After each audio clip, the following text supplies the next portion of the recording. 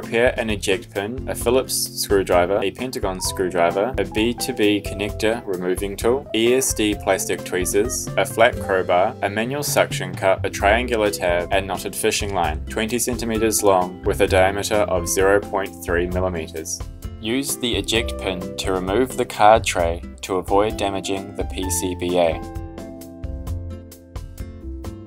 Use the pentagon screwdriver to remove the two bottom screws.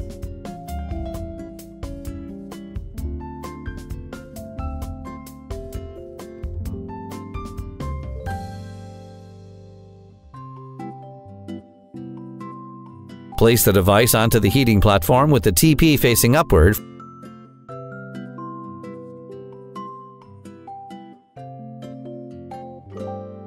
Move the device to the fixture with the TP facing upward. Slightly press the device and press the handle of the fixture all the way down. Attach the suction cup to the TP. Pull the suction cup up, tilt the disassembly tab to an angle of 60 degrees and insert it into the gap about 2 millimeters.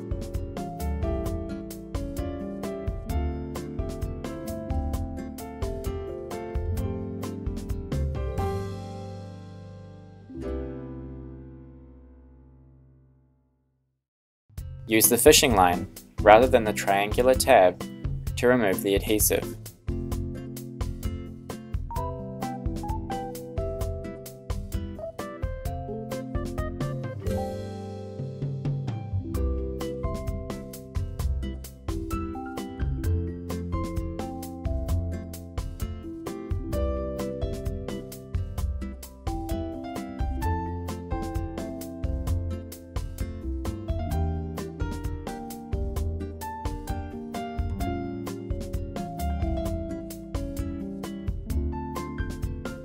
Uplift the TP from the bottom and then remove the buckles on the top of the front cover assembly from the device.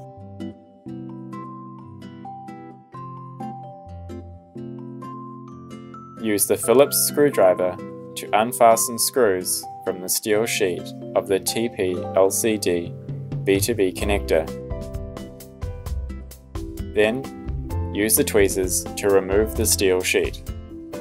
Use the B2B connector removing tool to unfasten the battery and TP LCD B2B connectors. Remove the TP LCD assembly.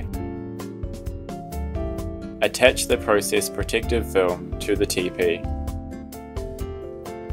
Use the plastic tweezers to clean the adhesive on the TP assembly and rear cover assembly. For the receiver part, Remove the adhesive from the lower right corner clockwise. Use the Phillips screwdriver to remove 17 screws, among which 4 are M1.2 screws and 9 are M1.4 screws.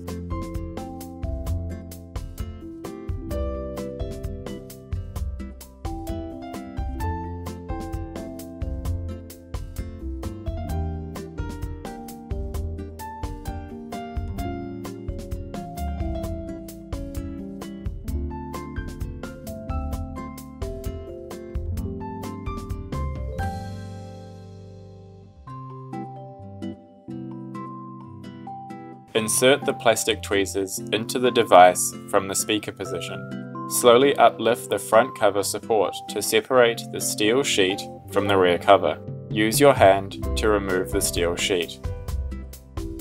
Use the B2B connector removing tool to unfasten the main FPC B2B connectors on the PCBA and subsidiary board. Then take off the main FPC. Use the B2B connector removing tool to unfasten the side button B2B connector.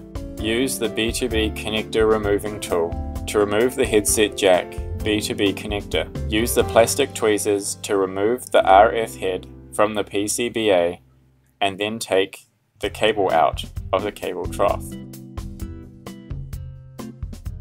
Use the flat crowbar to pry up the subsidiary board from the right of the USB port, and then remove the subsidiary board.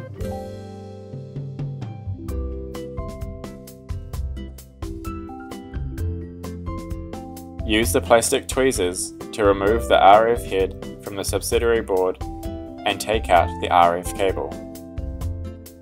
Use the plastic tweezers to disassemble the headset jack assembly from the headset hole position. Remove the headset jack. Use the flat crowbar to pry up the PCBA from the upper left corner. Use the flat crowbar to remove the steel sheet of the camera B2B connector.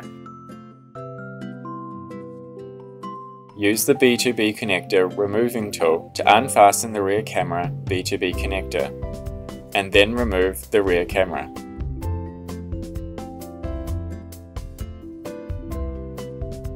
Then, unfasten the front camera B2B connector and remove the front camera. Gently insert the flat crowbar into the device from the left of the speaker. Slowly pry up the speaker until it is fully separated from the rear cover. The disassembly is complete. Thanks for watching.